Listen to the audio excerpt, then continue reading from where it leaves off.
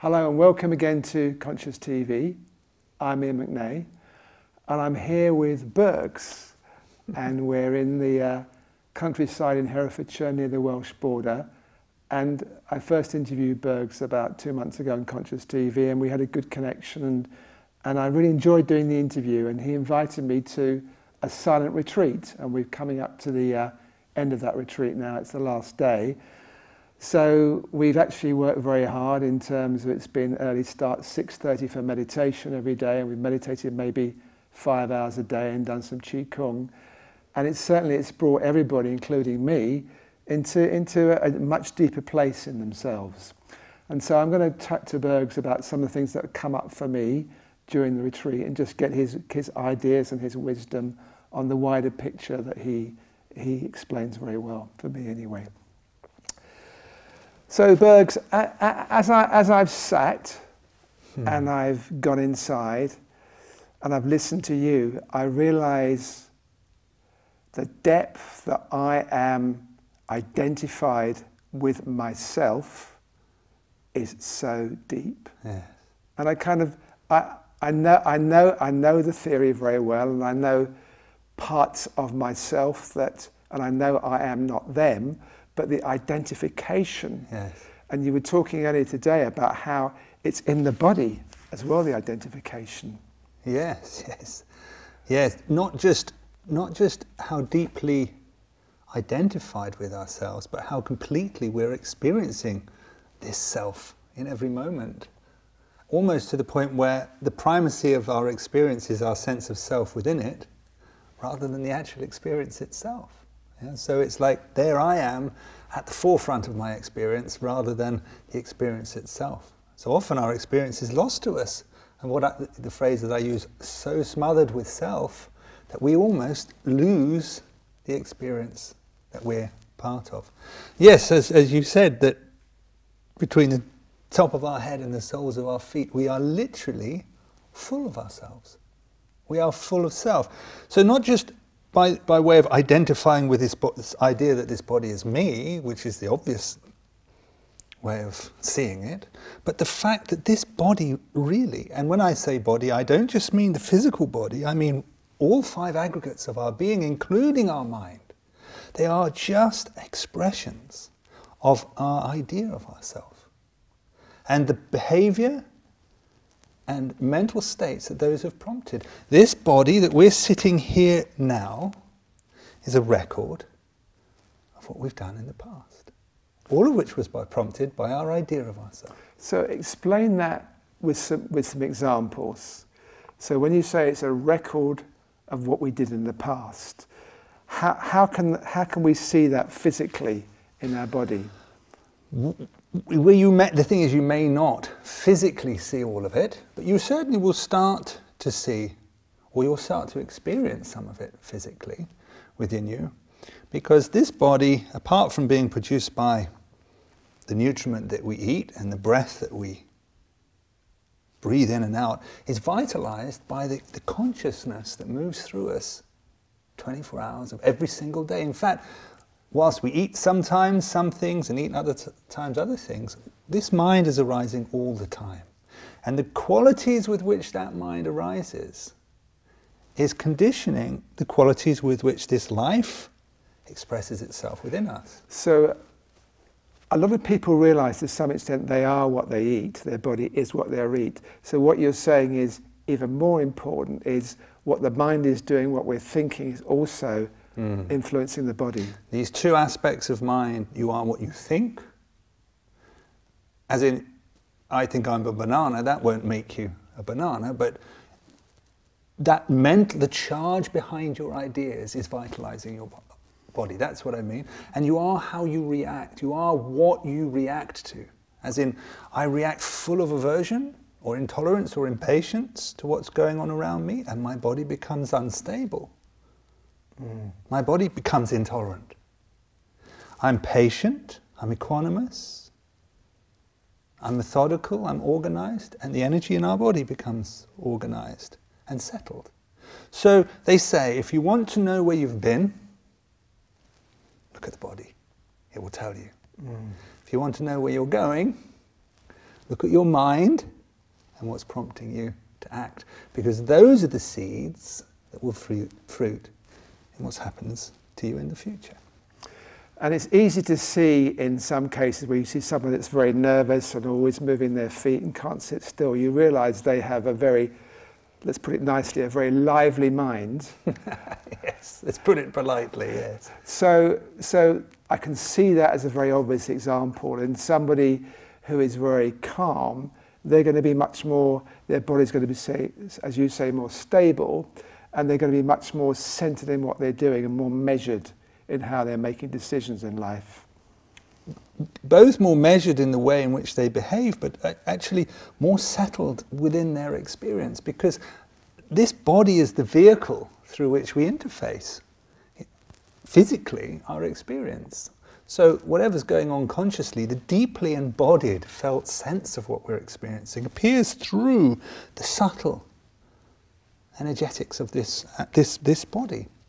So somebody who, as you say, has a restless mind, or we might say is incredibly, uh, you say has a lively mind, or, or driven, I, driven, uh, or I might say has a very restless mind. Yes. Where the mind is constantly flittering this way and that, constantly seeking distraction.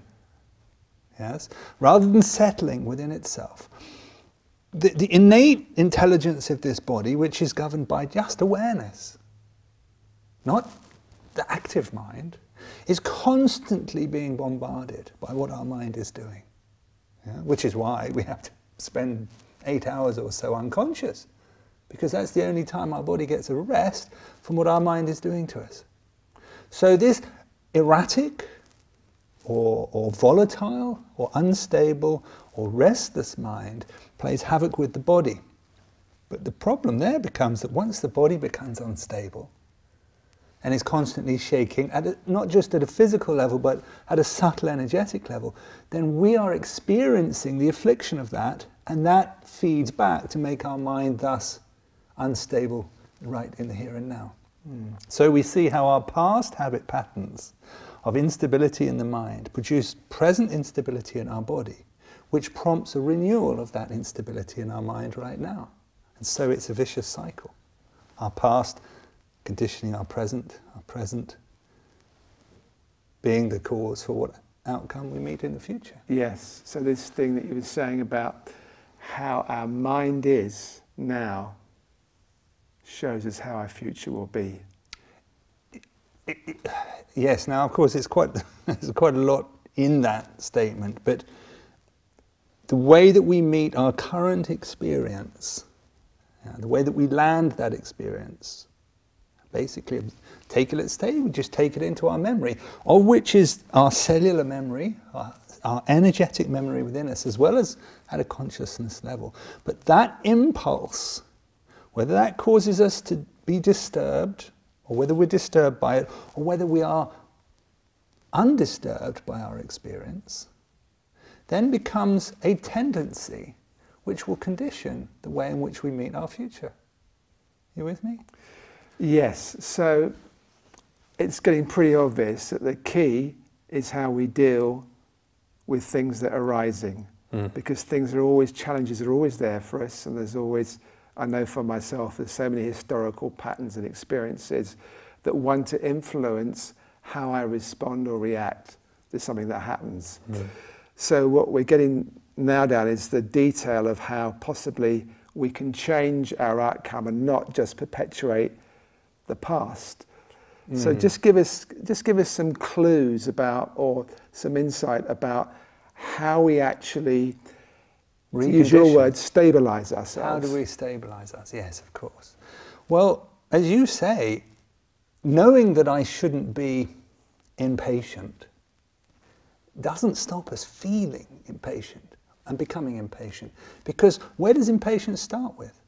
What does it start with? It starts with the feeling that we feel agitated and all of a sudden, no, I can't hang around here anymore. Doesn't it start with a thought? Because I, I'm, I'm just thinking, I'm so much better than I used to be, but one thing I still get, I still get caught sometimes is when I'm a bit late for a meeting, I'm sitting in the car, the traffic's very slow, and, I, I, and my experience is I think that it starts with a thought, uh, I don't want to be late. But what you're saying is, it's actually in the body, and the body is Starts with influencing. the feeling. starts with a feeling. The feeling okay. of agitation that comes up within us, which we don't normally recognize. Okay. What's happening is we're feeling agitated. It feels uncomfortable. We're literally shaking. And that triggers the and that triggers the renewed Okay. impatience in the mind. The idea is triggered. The reaction to our experience is triggered by how it's made us feel. Mm-hmm. So, you know, this, this, this con- feedback loop of conditioning, if you wait and just observe what your reaction is, how can you cut that off? It's already happened. I'm already feeling angry. I'm already feeling frustrated. I'm already feeling craving for something. And you can tell yourself as long as you like that I oughtn't to be, but the next time a rat comes around, you're sitting in the traffic and you haven't got quite enough time, you're going to start getting overwhelmed with frustration. Not because you don't know that it would be good for you to not be like that, but because the feeling that is triggered by the old stock of how you reacted last time comes up again. And you're feeling agitated, and then the mind follows on from the feeling. So the point being, while we try and tell ourselves to stop being the way we are, we can't. But when we start to sit and pay attention to how we're actually feeling, and instead of reacting all the time to that what doesn't to what doesn't feel pleasant within us, just sit to be with it to the point where we realize, okay, it's just a feeling. It's not going to last forever. Eventually, our, our capacity to be with our experience, which is, I feel a bit unsettled right now, deepens to the point where it doesn't necessarily trigger in us the reaction that is, has been habitual for however long. But this so this is the way we let go the bad reactions from our memory so that we become more settled in the present. But this requires real discipline, doesn't it? We have to say to ourselves that I am not going to go into the old pattern. I'm going to stay with the feeling and see what's actually there underneath where the actual feeling is. Yes, it, it, it requires patience, which, you know, it may well be that it's impatience is one of the causes for our mind being so unstable. And, you know, it doesn't feel particularly comfortable when we first sit, for example. And our initial tendency was, why am I going to sit here? It's just aches and pains. Yeah. And the point is that while your spirit is settling, your awareness is settling, you have to go through the disturbances that are in the way. So if you every time you feel the slightest discomfort, you'll never experience being settled. So you just sit patiently, and as you allow the feeling to be with you, gradually your reaction to it passes. Your aversion to the unpleasant is gone. And then gradually, because the unpleasant itself was caused by the aversion energy of the mind, slowly the unpleasant feeling itself goes. So the first thing that's let go is the bad reaction in the memory, and then gradually over time, the unpleasant feeling itself will be gone. And, now then- we're not suffering from it anymore. And then the next time, or hopefully after a bit of time, it happens a few times, we do the same process, we don't get caught in this, in this, This ongoing cycle. react, the vicious Yeah, cycle, yeah, yes. Yeah. And of course, right at the heart of this vicious cycle is the sense that it's me. It's the identification. The identification with me Yeah, and, and, and, and uh, what I, do, I don't like that. Yes. Yeah? So the sense of me being right at the forefront of my experience is, what is really the root of this proliferation of these habit patterns of what I want, what I don't want. I can't bear having what I don't want. I can't bear having not having what I want, and all the other things that sabotage our best efforts to be at peace with ourselves. Well, the, the levels, as I was saying at the beginning, the levels of identification, the different, the different ways we see ourselves as me, or we think that we are me, they just they seem to be endless, hmm. and they seem to be, in a, in a way, there's, there's certain obvious things, and we, we, yes, we can see that we like to think I'm somebody and I do this, and I'm married to so and so, and I live, so, I live there, and they're very obvious, but it's these more subtle ones that kind of catch us because they're the ones that we don't always hmm. first of all know how to deal with and don't always even recognize. Hmm. The one that we most often don't recognize is pride. Pride is, is, in a way, the most insipid aspect of ourselves because it is that deeply embedded tendency to compare ourselves to others. Whether we're comparing ourselves to others as better, same, or worse, this is all pride. Or whether we're comparing ourselves to our idea of self as better, same, or worse, that comparison is so often at the root of why we find what we're experiencing unsatisfactory. Because we've got a sense of expectation about what we think it ought to be. And that comparison or that pride is really at the root of us not being able to accept and be with things as they are. Now, it's interesting because, in a way, we, we also subscribe to the views that suit us. Yeah? And they formulate our, you know, our ideas and the views we subscribe to, formulate a huge aspect of our sense of self. So we might subscribe to a view of no self because it suits us. It would be very convenient, this idea that this afflictive self I'm experiencing is just an idea. What a relief. And so we subscribe to the view. But that doesn't mean we're freed from the experience of ourselves with all our tendencies and unreasonableness right at the center of our experience. We actually have to work hard to free ourselves of our conditioning. Freeing ourselves of our views is actually only a step along the way of really freeing ourselves. It, you've, got, you've got me thinking on, on a slightly different tack, which I think is, is also very interesting and very important. There are quite a few people that certainly we've met on Conscious TV who have said there's no self there. Mm. Something happened and the self is gone. And I, I don't feel being with them, it's a complete illusion.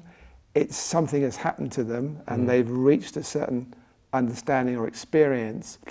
But I think what you're saying is that that in itself can still be a trap. And the idea is saying, well, the self left, there's no self there. There's an identification with having a no self. Hmm. Well, one of the ways, you know, I don't know if you remember at the beginning of the course when I said I, I, I, I voiced the, the caution that needs to be upheld with regards to teachings like this. I said, there is an old saying that says teachings like this should not be whispered downwind of one who is not mature enough to fully grasp them. Because at one level, we could adopt the idea or the view that there's no self to negate any sense of responsibility for ourselves, which is actually a very dangerous thing. The idea that everything is empty, there's no self there, what I do is empty and has no effect. Now, that has to be handled extremely carefully. The idea, and, and, and it's certainly the case that many of us have these experiences that are beyond self. Let's not say no self is perhaps less, a little more misleading, but the experience for a moment of being beyond a sense of self. And that can happen in a number of ways. It happens to most people once they start meditating, once they spot that stream of awareness in the background, they see their mind arising within that, they realize the mind is actually illusory and that there's and that the arising of this momentary mind is the cause for the perception of self. It's an illusion. So we see that, we have the experience momentarily, of being free from self. And it can happen through a traumatic event. It can happen a number of ways. Some people have the same experience through taking drugs. But the point is, this mind continues to momentarily arise within this free of self aspect of pure awareness. It's not until we have broken our tendency to continue to come back and identify with this, finally, that this mind of ours truly stops being the cause of suffering, and this mind of ours truly stops being our sense of self because our mind is nothing more than my ideas of self. But what's actually driving the mind? You mean what's prompting the mind to arise? What's perpetuating the mind? Uh, attachment. Yes, attachment. But, but at the core of it, is there anything there, or is it just a program? No, the, the, the, the, the mind itself, mental states that arise within us, they are all conditioned, they're prompted. So they are the effects of causes. That we've learnt over our, over our not, not necessarily consciously learned. What- Conditioning is, is, is governing us at much deeper than conscious level. Yes, but the point is, the mind still needs to be prompted. Yes, and and what causes its prompting is is attachment to what it is, beyond the seeing, or the smelling, or the feeling of what it is that we experience. It is our attachment to an identification with that that prompts the elaboration of the mind to, to arise, to seek to either add to or take something from the experience itself, rather than to just rest with the experience as it is and to be with it and to find that the experience is enough. So the sense that the experience needs me to add something to it or take something out of it to make it complete is really at the root of the proliferation of the mind. And what's that sense? That's the sense that I have to be at the center of this experience to make it meaningful. But you see, the, the thing that I don't quite get is the mind just a free floating, self perpetuating whatever, which is kept together by prompting and attachment?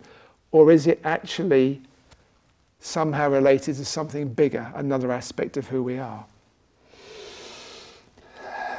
So our this aspect of awareness that we have been introduced to on this retreat, that we started to develop a deeper relationship to through our meditation, which we start to rec- which we call and then start to recognize the basic ground of our being.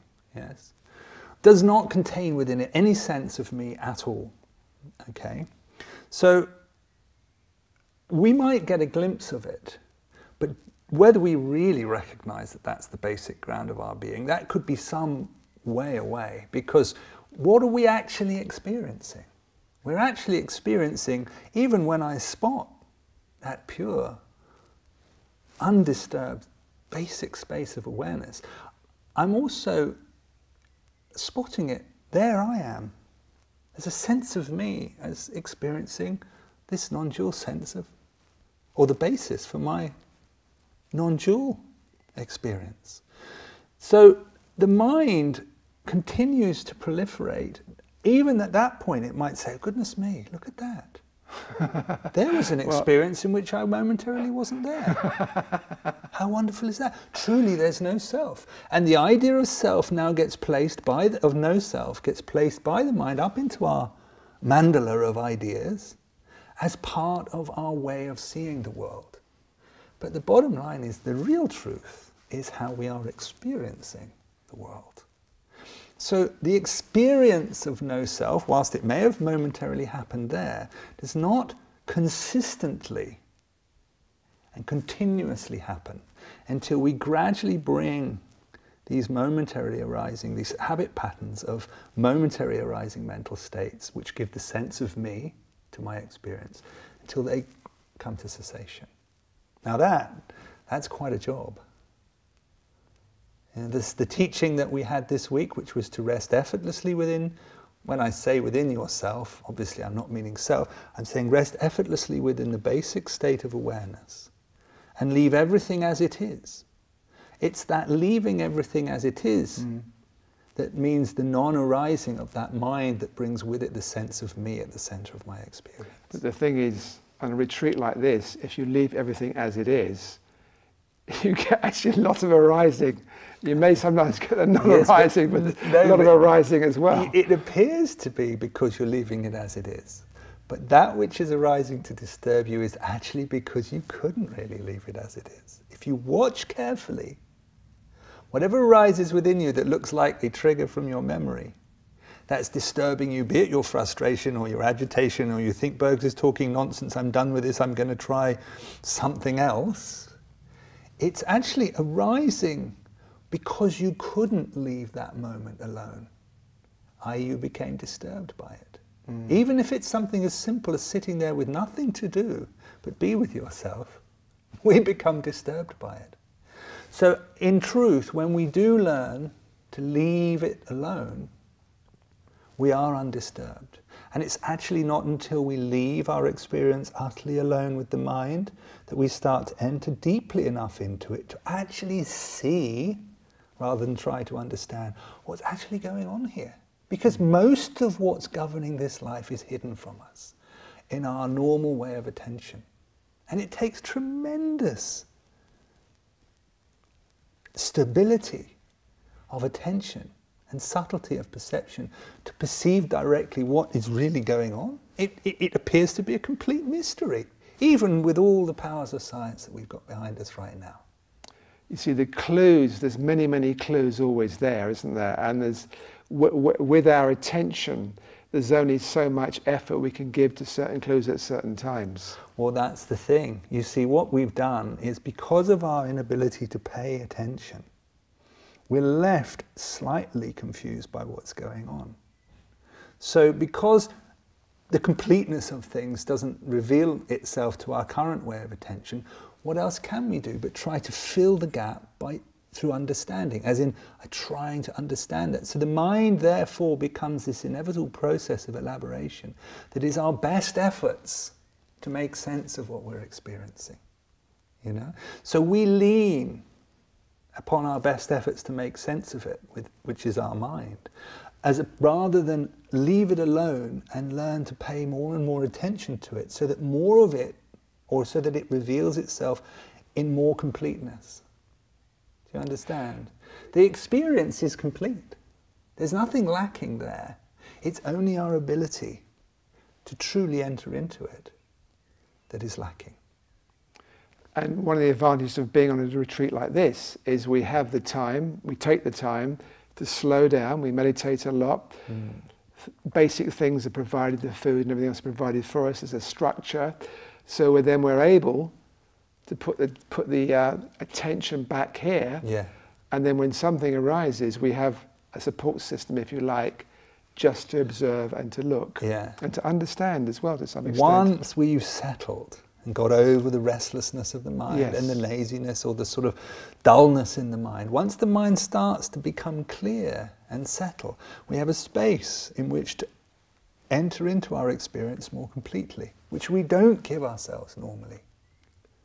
You know, this mind that we are, this experience, the, the, the vehicle, the lens that we're looking through at the moment, the way that we're engaging in our life, is, is such a poor reflection of our deeper capacity to enter into life. But we don't stay with our experience long enough or deeply enough to enter into it. So it's, it's, it's, it's like if you were to look at life through a magnifying glass, it would appear to be still somewhat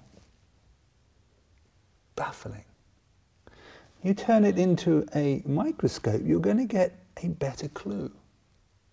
Now, it's not about looking microscopically into things, but it's, it's a similar analogy.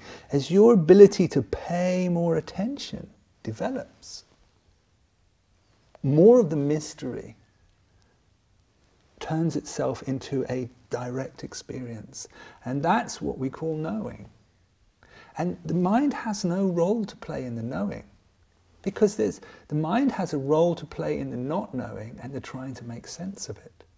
So what happens is a new faculty, well it's not a new faculty, a, an, a faculty that's been running in the background our whole lives, which has always experienced everything in its entirety, starts gradually in stages to become our reference point.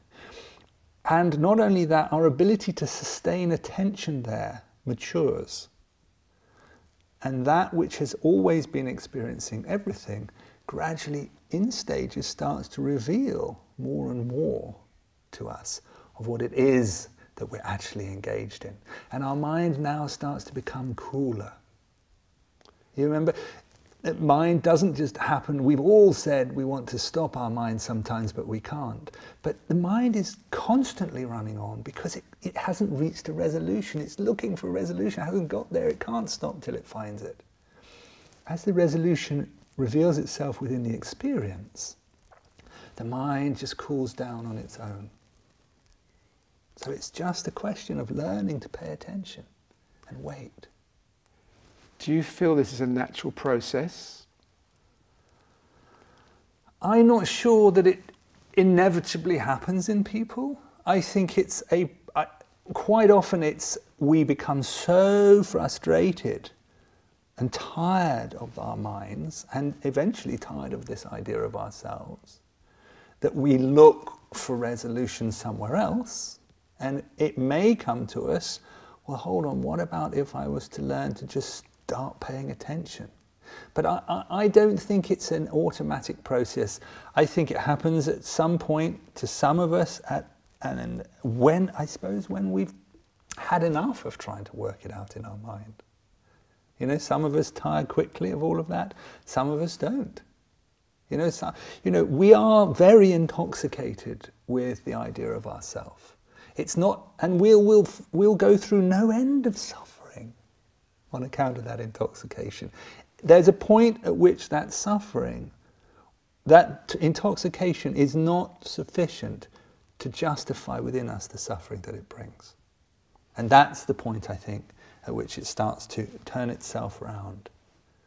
Uh, and actually, you know, in, in, in some ways it, it's talked about as a sort of uh, an awakening, as if it was discovering something that's out there. But actually, it's always been working that way within us. We've just lost sight of it. So, in a way, I often talk about it as the return journey. It's like a journey home to the, to the basic ground of, of your being. I think for many people, they just realize, and it may even be desperation in some cases, they realize yes, it's be. not, you, you get more and more on the outside, or you try and get more and more, and you realize, okay, for a time it works, and you feel, you feel like, like a peak experience, obviously, every now and again, I've got this, I've done this. Mm-hmm. And then you realize there's no resolution that way. Mm. It's never way, finally satisfied. No, it, it's where you might be temporarily. Yes. And then the old feeling comes back and you think, there must be another place to look. Yeah, yeah, yeah. And it's almost as like you go down and it's a, finally hit a dead end and then you turn around and you come back and then something slowly starts to open another yes. way of looking at things. It's like how many rabbit holes do we have to go down before we realize they're just rabbit holes? Yes. It's not until we come back out of the rabbit hole that we realize, ah, at the surface, they all come from the same space. You understand? So we chase our tail down any number of routes until either it becomes, and there's two things that tend, tend to be the cause for us turning away from that pursuit through self. One is that we become utterly, like you say, we experience a state of despair, or two, that we simply tire of it. We become weary of it. And so one is a, a, a, a, gradual turning away, and the other one is a crisis that sort of, I just can't go there. I can't be there anymore. I can't do that anymore. This has to stop. But there's still the period of which we got to integrate this process of turning around. And you know, long after we've recognized is that, that this mind is the affliction, ideas of self are the affliction, we still have to disentangle ourselves from them. And they have tremendous momentum life, lifetimes of momentum. They don't just suddenly fall away just because we wake up and see that that was an illusion. It's a, it, that's what grace is. You know, and, and, and it takes tremendous patience and humility and courage to gradually extract ourselves deeply at a causal level from the things that are conditioning us. And we were talking earlier about um, in society, we're more moving in a way the other way to instant gratification, yes, yeah. and we've lost the art of somehow making a commitment, staying with something, and seeing it through. People haven't got the patience for that anymore. Well, they haven't got the patience for it anymore because the way that we're using our minds now is so broken, so fleeting, so our, our, our capacity to pay attention to anything is breaking down because we're constantly stimulated by bits of information that we just snapshot and move on and snapshot and move on. We don't imbibe the essence of our experiences anymore. So, firstly, our ability to pay attention is breaking down. And secondly, our actual capacity to connect to source or consciousness or spirit or whatever you want to call it, that that connects us to all things is also breaking down. So at a subtle energetic level, the interface between us and what we're experiencing that actually connects us to it is being broken by the violation to it through the grossness of our of what we're engaging in. All these electrical fields and and the uh, as well as the, the the erratic behavior of the mind. Everything is so unstable now that the extremely delicate operating system or, or, software system that interfaces between this being and everything else is just breaking apart. So now, even to be able to feel that connection that we used to, even without being trained in any meditation at all, when we were a kid, we could feel it, we could sense it. As we grew up, we became moved by it at different levels. All of that, all of that is gradually breaking. So there are two we're in crisis at two levels. One, the way we are prone to use our minds habitually now is utterly opposed to being able to really pay attention. And secondly, the way that we actually truly connected, which is not through our ideas, we're connected through the fact we are all sharing the same experience of being alive within the same vast field, which is life itself. And that level, we're, we're losing the connection. So we are in a very difficult state, difficult stage, um, you know, where, where, as you say, quite often it's a crisis. It's like, I feel so overwhelmed by it. Something's got to give. But then we've got all the repair work to do to really re-establish that connection again. Mm. We're actually losing our sensitivity, aren't we? That's what it comes down to to a large yes. degree. Yeah, we just yeah. we don't feel as we used to feel. We don't see as we used to see. We don't. We're just not in touch with the, with the environment mm. as we used to no. be. I mean, for all you know, we're so versed. We've never been so educated spiritually, but we we just don't feel at the level that we used to. You know, I'm a meditator. I've been meditating for 20 years now, more. But I know, and I've been meditating, I know how to look after this software system. But I can see that there, 10 years ago, the, the ease with which I could feel the nuance in the environment around me, empathy, the depth of what I was experiencing from the people that I was with, it is it's still there, but it, it, hasn't. It's not as subtle as it was now. And yet, mm. I'm meditating. I'm maintaining my my my my, my um, my, my faculty of direct perception. It's breaking apart because the environments that we live in are so violent to us energetically. So, you know, I have to work hard to maintain the real subtlety that makes the experience exquisite. And it's because we've lost that exquisite part of the experience through being desensitized that we need more and more to stimulate us. Okay, let's look at this making the experience exquisite. This has got different meanings to different people. Mm. But it, for me, it kind of, if, if I, I look at that phrase, then I start to slow down. Yes. I start to become more aware. I start to realize that, you know, the, little, the effort that's gone into creating a background for this interview. I start to become appreciative. Yes. I start to open. And that's, in a way, what needs to happen is that exactly. we need to open. Yeah, because our openness to our experience is what exposes us to the, all the subtle texture that, as I said, makes it exquisite. When you are really attuned to what's going on, life is utterly exquisite. It's extraordinary everywhere you look. It's extraordinary. But because we, it's, it's far more extraordinary than it just looks you understand? The real depth of it comes through how we feel when we enter into it. And that's what makes it exquisite. And that capacity to feel what we're a part of it is where we lose, is the bit that we're losing in stages. And of course, the other thing is it's understandable that we wouldn't want to feel as deeply as we might have done because we're in an environment so much of the time where it isn't exquisite. You know, being in an office that is shaking with um, electrical fields all the time, it stings to feel at that level. So, of course, we're, we're retreating. So many things are happening to us that are bringing about this loss of connection to the exquisite, or the bit that makes it really moving. Yes, and one of the things you mentioned yesterday, which, which certainly connected with me, was that we take on too much in life. Mm. We're too busy.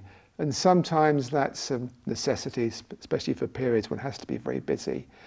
But we somehow lost the art of slowing down and just taking time for ourselves. When I say ourselves, I don't mean ourselves, but just to be, the just wider be. picture of yeah. ourselves. Yes. Yeah, because we've, cr- we've crowded out our time. Now, two, two reasons for this. One is the, thing, is the fact we are we have so many opportunities that everything is so extraordinary. There's so many things we can have. We're pursuing so much, and we have the freedom to pursue everything we want. So we we want as much as we can cram into our lives. So first of all, we're pulling too much into it to actually really enter into and appreciate any of it properly. The other thing is because we feel so unsettled if we did have the space we need distraction to draw us out of how it actually feels. So the point is, one thing is to, to create the space by bringing less into our lives so that we have more space to enter into things. But the other thing is to settle ourselves enough so that we can actually enjoy being there in the experience. Because all the stress and agitation and tension that we feel, the shaking in the heart and the, and the, the, the tension in our nerves from being constantly overstimulated mm. means that we constantly need to be distracted from that feeling. And this is what's happening with all the ADHD that, that young kids are developing. They can't just be with themselves because they feel so disturbed. Yes, and also their parents are probably very busy. They probably both got get, got jobs and they're getting stressed out at times. So they the kids aren't learning mm. from their parents to, to actually live in a responsible and open way. They're, that's, they're just perpetuating the patterns of yeah, their parents. Yeah. we they? are all so, so stimulated. So, I mean, if you think the human mechanism, the speed at which it's had to adapt to the level that we are stimulated now, I mean, even 10 years ago, we were much less stimulated then than we are now. And 50 years ago, there's no comparison. There's really. no comparison. Yeah. So what you know, the the way our nervous system has had to adapt to the impulses that it's exposed to, the stimulation that it's exposed to, it can only cope by not paying attention. You with me? So this is why it's a vicious cycle that folds in on itself, and it does take. It's you know it can be quite uncomfortable the process of working ourselves out of that cycle to the point where we can really start to pay attention again and be mm. really present within ourselves.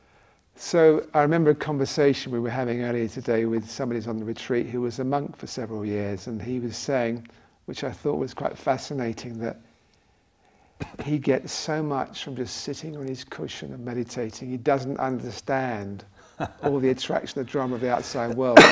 well, that's one view, and I can understand his view, but for so many of us, we're somehow so hooked into the dramas, it's not so easy to have a clear space to see that life can ultimately be so simple and yet so rich and so satisfying. So for people, we have, a few, we have about, I think, about 10 minutes left. So people who are watching this, obviously some will already know about you and your retreats, but let's say it's ordinary people that aren't necessarily that aware of meditation or living a, a, obviously conscious life.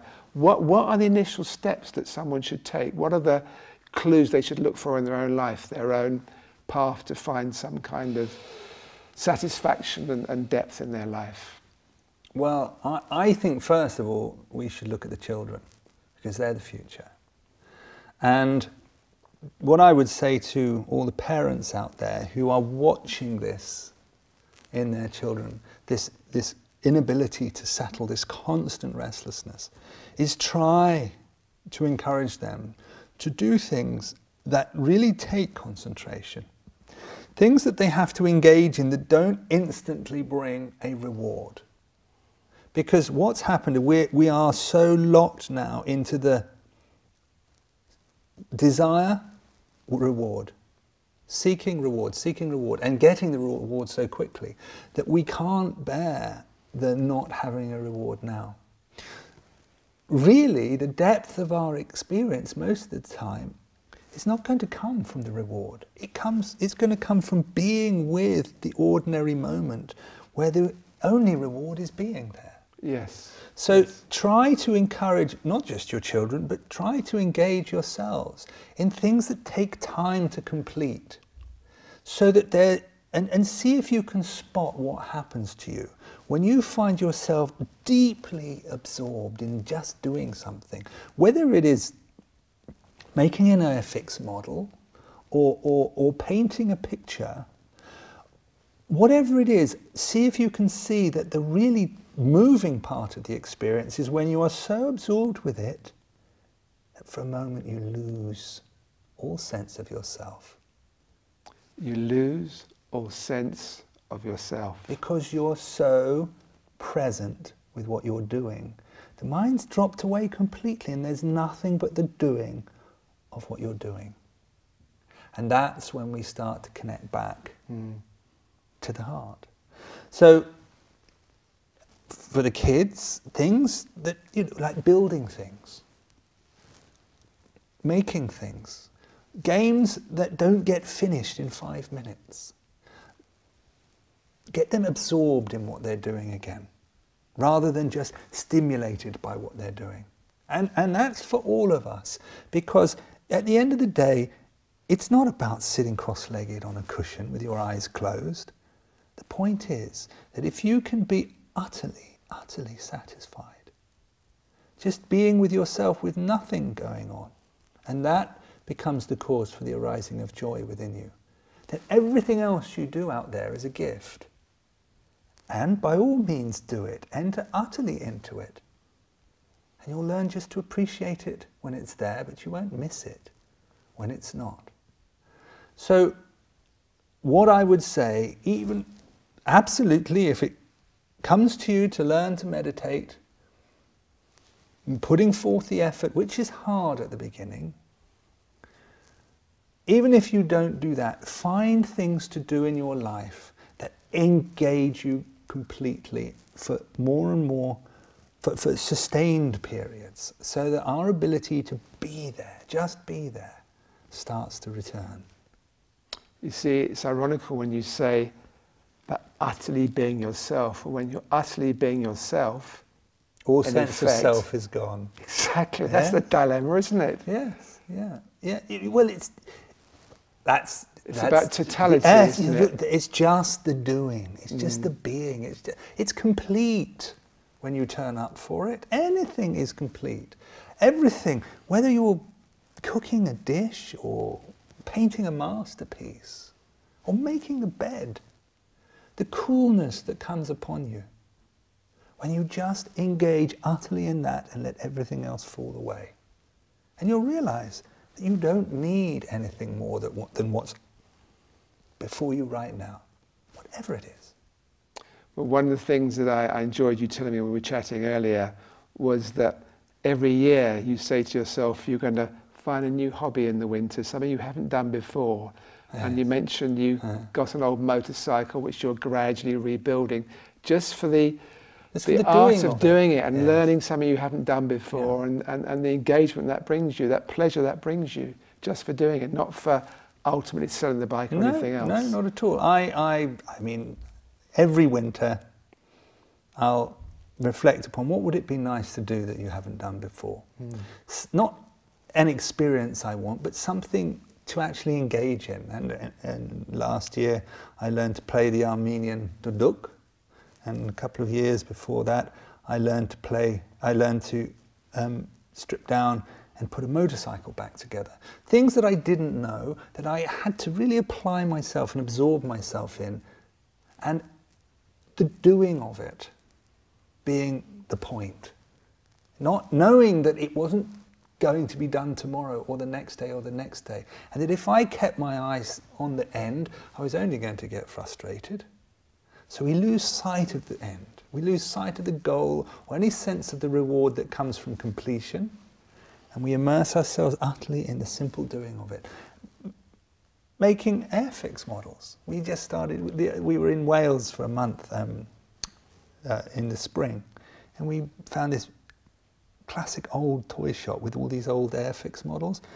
And uh, three of us, we bought these Airfix models and we spent a week doing something I haven't done since I was a kid. It's such fun. And of course, it's of no purpose when it's finished. You know, it's just the doing of it. So, yes, it's not about sitting on your cushion. It's about finding a stillness within yourself that means you're able to enter into everything, mm. whatever it is you choose to do. So, this word stillness, we think traditionally the word stillness means everything stops and we're mm. just listening or whatever, but you're using it in a context which actually you can be active, but you still feel mm. stillness. Mm. That stillness comes when you're utterly immersed in what you're doing, that your mind is not arising to disturb what? Mm. Stillness at your heart. Mm. Yeah. So we say that if you want to know stillness, move until you're unmoved by it. You with me? So the stillness is just being there. It's the mind that becomes still and stops disturbing you. You're still fully engaged. Riding a motorbike down a mountain road, the noise of the engine, the wind, it's extremely noisy. And yet there's an utter stillness in that moment of complete absorption. And it's the same stillness when you sit down quietly to play the duduk behind the music, utter stillness. Or when you're polishing an engine case or painting the wing of a plastic aeroplane. Undisturbed by what you're doing, but deeply immersed in it. And is that stillness always there with you? And, that, and right up until the point that I get vexed by everybody's questions. yes, it's, it's, it's mostly there. It's not often not there now. Yes, yes. There are times when there are just lots of things to do I try to avoid having too much to do, but occasionally we can. But the thing is, not being disturbed about the fact that there are disturbances. Mm. So even then, there's a stillness. Yeah. Don't expect to be undisturbed all the time. Just learn not to be disturbed by being disturbed. Mm. okay, Burgs, I think that's a great place to finish. I very much appreciate not only the retreat, but you taking the time to do this interview with me. well, I'm delighted that you came. I'm delighted that you enjoyed yourself.